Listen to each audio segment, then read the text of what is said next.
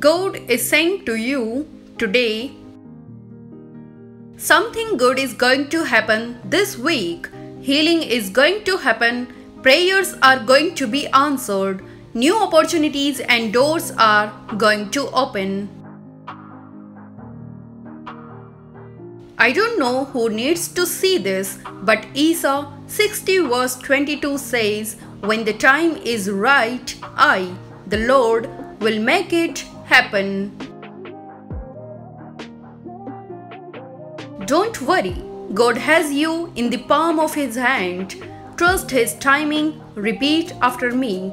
I will not let anyone or anything take me back to a place that I prayed my way out of. The Lord is so good. He is working on things you don't even know about yet. He is orchestrating solutions that will blow your mind. Like this video if you believe in God. Do not be worried or distracted. He is for you and God won't fail you now.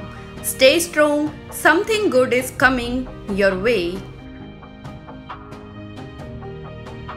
God is healing your wounds and restoring your finances.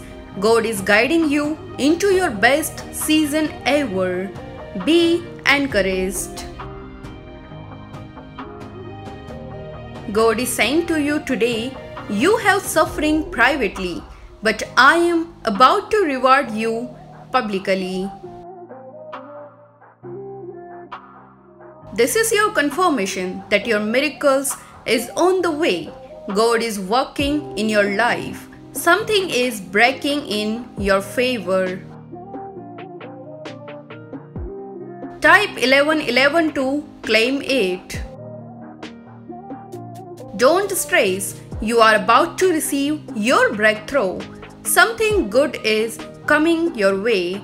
It's already worked out. God is so proud of you. Keep going, He is going to bless you in so many unexpected ways.